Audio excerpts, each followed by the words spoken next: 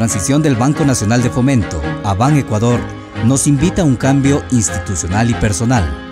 En este periodo nos enfocamos a trabajar en territorio, lo que significa acercar los servicios bancarios a los productores, crear nuevas alianzas, identificarnos con sus necesidades. Estamos recogiendo son las necesidades, los requerimientos en territorio. Estamos rompiendo toda una historia de exclusión que ha tenido el Banco de Fomento y cambiándola por una historia de inclusión, pero con y por nuestra gente. Buscamos integrar el trabajo con los productores, no solamente con servicios bancarios eficientes y oportunos. Queremos llegar con soluciones reales, mejorar las condiciones de producción y comercialización con las rondas solidarias que impulsamos en el Cantón Balsas, provincia de El Oro, hicimos que productores, maiceros y avícolas conversen, negocien y lleguen a acuerdos directamente, sin intermediarios. La nueva agencia del BNF ubicada en el mercado mayorista San Pedro de Riobamba marca un hito en la visión del nuevo banco, llegar a productores y comerciantes.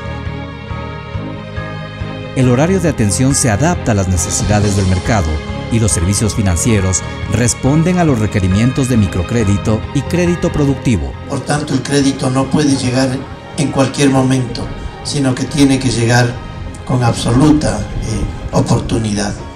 Compañeros, el banco es una realidad. Gracias a los que conforman este, esta institución. En esta etapa de transición queremos identificar a los actores de la economía popular y solidaria, artesanos, recicladores, pequeños productores, mujeres y demás emprendedores serán reconocidos como sujetos de crédito y recibirán el acompañamiento en sus actividades productivas.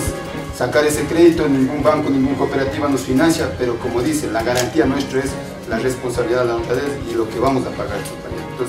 los consejos ciudadanos sectoriales son los escenarios apropiados para establecer el diálogo social, instancia que enriquece y construye las propuestas de Ban Ecuador. Queremos eh, tener insumos desde la propia gente, desde las propias organizaciones, que nos permitan especialmente eh, aterrizar en el diseño de las metodologías del nuevo banco. El diálogo es la prioridad en este proceso de transición hay que recorrer el país. El banco de momento tiene que cambiar.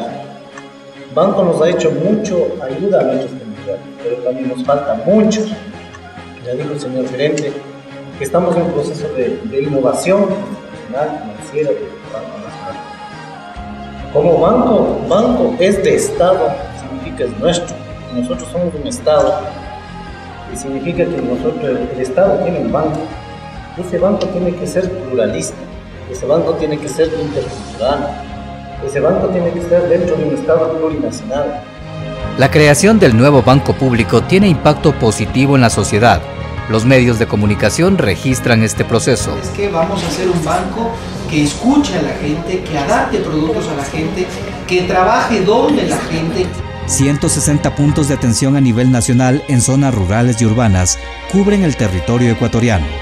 Desde cada lugar compartimos el compromiso que implica ser parte de este nuevo banco, Ban Ecuador. Es un personal comprometido, lo que queremos es un personal que salga al campo, que no se quede en la oficina, que privilegie el diálogo con el, con el productor, que entienda eh, la problemática del, del productor.